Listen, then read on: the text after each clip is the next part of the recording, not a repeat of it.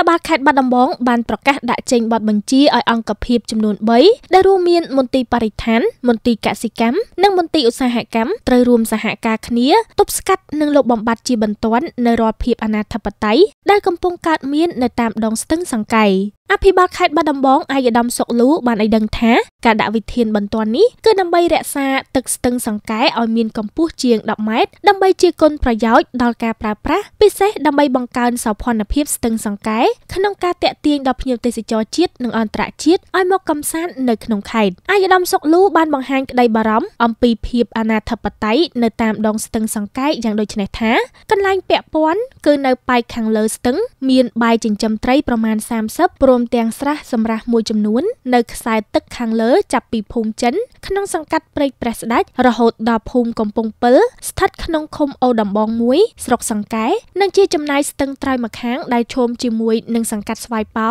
ស្របពេលដែលចរន្តទឹកស្ទឹងសង្កែមិនត្រូវបានហូរដោយសារតែរដ្ឋបាលខេត្តបានកំណត់ក្នុងការទប់ស្ទាក់ទឹកដើម្បីរក្សាតម្កល់ទឹកនៅទំនប់សាឡាតាអនសម្រាប់បម្រើក្នុងជីវភាពរស់នៅនិងការស្រោចស្រពរបស់ប្រជាពលរដ្ឋរស់នៅតាមដងស្ទឹងព្រមទាំងលើកកម្ពស់សោភ័ណភាពទីក្រុងដែលបង្កការបំពុលទឹកស្ទឹងឲ្យកខ្វក់ប៉ះពាល់ដល់ការរស់នៅ និងអ្នកប្រើប្រាស់ទឹកស្ទឹងប្រចាំថ្ងៃជាមួយគ្នានេះប្រធានអង្គភាពរដ្ឋកោទឹកនៃមន្ទីរឧស្សាហកម្មខេត្តបាត់ដំបងលោកអ៊ុតក្លឹងក៏បានបង្ហាញពីក្តីកង្វល់ដែរថាបញ្ហាដែលកំពុងប្រឈមខ្លាំងដោយសារតែប្រជាពលរដ្ឋមួយចំនួនរស់នៅតាមដងស្ទឹងសង្កែផ្នែកខាងលើនៃស្ថានីយបូមទឹកស្អាតរបស់ខ្លួនបាននាំគ្នាធ្វើបែដាក់ស្រះសម្រាប់ចិញ្ចឹមត្រីនៅក្នុងស្ទឹងបង្កភាពអនាធិបតេយ្យនិងបានបង្កផលប៉ះពាល់ដល់ការបំពុលបរិស្ថានក្នុងទឹកថែមទាំងធ្វើឲ្យប៉ះពាល់យ៉ាងធ្ងន់ធ្ងរដល់ការផលិតទឹកស្អាតប្រចាំថ្ងៃរបស់អង្គភាពរដ្ឋកោទឹកខេត្តផងដែរយ៉ាងណាមិញក្រៅពីការប្រកាសដាក់ចេញវិធានការបន្ទាន់នេះ